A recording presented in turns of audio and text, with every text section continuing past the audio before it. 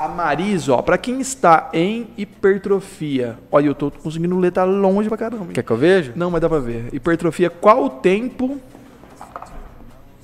correto para o cardio? Para uma pessoa que tá Querendo hipertrofiar. É, pergunta interessante, porque É. às vezes a pessoa fala exatamente o que a gente falou aqui. O cara que tá querendo ganhar, ele provavelmente ele não vai esmagar no treino lá assim, de aeróbio. Então ele não vai treinar É. peito, esmagar e depois vai correr 20 quilômetros, né? Sabe qual que é a função? Sabe por que às vezes muito fisiculturista usa o cardio também quando ele quer ganhar, ter hipertrofia? Uma, por quê? Quando, ele tão quando eles estão em off, ele precisa comer muito. Então, se ele comer muito, é, ele acaba ganhando gordura. E o que, que o cardio faz? Faz ele gastar um pouco mais de caloria. Sim. Então ele consegue até não fazer um, aqueles off limpo que eles falam e subir o peso sem ganhar tanta gordura, né? Sim. Então por isso que eles colocam às vezes essa estratégia.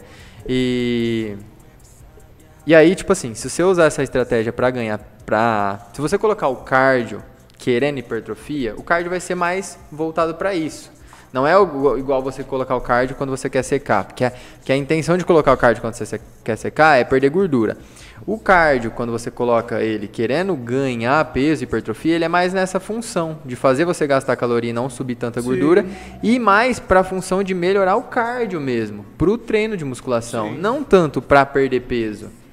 Quando você inclui o cardio, Sim. essa estratégia de pôr o cardio Porque para tecnicamente você não tá querendo perder peso, né? É. Tipo, você não quer, tipo, às vezes subir muito de gordura, né? Sim. su- E outra também, aí você vai cortar o cardio. Aí você vai comer, comer pra caralho e vai ganhar peso.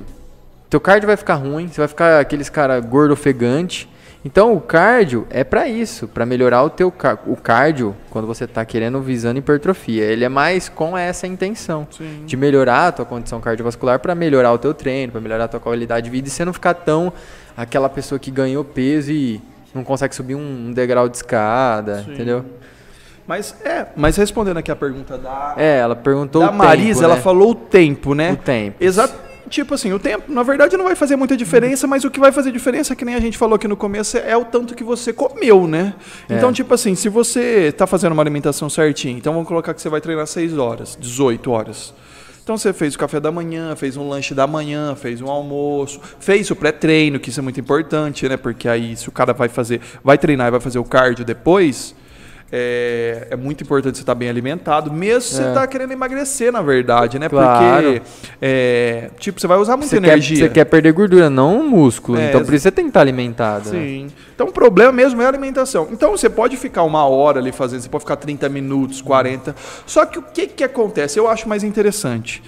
Como a gente falou, se você treina musculação intensamente, você vai. O cardio vai ser tipo chato de fazer, porque você já fez uma hora de treino ali, e não vai ter com a mesma intensidade. Então, o que, que tem pessoas que fazem? Elas fazem umas duas vezes por semana e faz uma hora depois. Eu acho mais interessante você fazer todo dia e faz 20 minutinhos, 30 minutos ali, ó, estourando, 30 minutinhos depois, tá ótimo. Para uma pessoa que quer ganhar massa muscular, né? Com esse objetivo de Tá melhorar o cardio, tá bom. E, e outra também, vamos supor que o cara- Agora, eu não sei se você quis dizer isso, Marisa, mas tipo, se for o cardio, é sozinho, tá?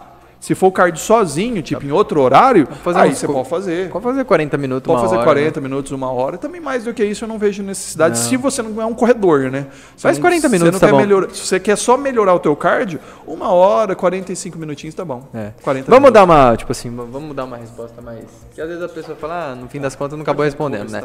Então vai, você vai fazer separado, faz 45 minutos de manhã, faz uma caminhada de 45 minutos. Vai fazer junto com o treino, no pós-treino, faz 20. 20 minutos. Por quê? Por que, que não é bom também colocar muito cardio quando você está visando a hipertrofia? Porque vai ter uma hora que você vai fazer a transição, né? Você falou assim, ó, hipertrofia. Fiz o booking, né? Foquei, foquei mais no booking e agora eu vou fazer o cut. Vou emagrecer, vou secar. Sim.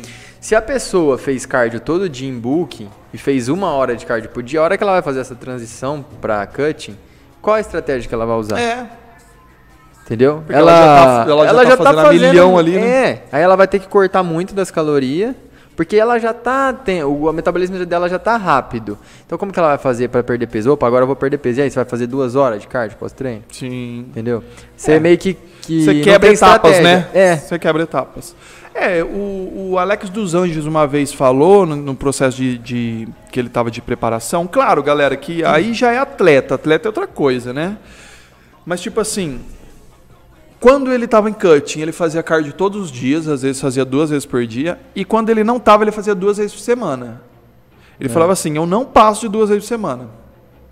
Então, eu não vejo muito sentido também você ficar regaçando no cardio, você está querendo ganhar massa muscular. É. Porque para que você vai aumentar esse gasto calórico? Aí você vai ter que comer mais, né? Para que, que você vai aumentar? Às vezes, então, você vai ter que comer mais. Que comer mais. Você vai ter que comer e mais. E quem tem já dificuldade em comer mais, aí ferrou. Porque então... nesse processo você já vai estar tá comendo mais. Então, tipo, você não está passando fome. É. No cut é complicado, mas tipo, no, no... Porque aí no cut você fala, ah, eu vou treinar mais é. para poder comer mais. Isso. Agora, você já está comendo mais, não faz sentido você gastar mais. A não ser que seja um cara que tem uma apetite Agora, alto, é, né? tem, tipo, o cara vai comer 6 mil calorias por dia. É. Aí é diferente, né? Mas, é, no caso do, do ganho de massa muscular, assim, que você está fazendo, umas três vezes por semana no máximo, acho que tá, Tá bom. bom, Só tá que bom. outra coisa, não, não quer dizer que porque você está querendo ganhar músculo, que você tira o cardio. Tem pessoas que tiram mesmo, entendeu? Não. Elas fazem só com o objetivo de emagrecimento. Por isso É. que falava, lembra que tinha aquela briga. O, o, o cardio gasta mais caloria, emagrece mais, tudo mais.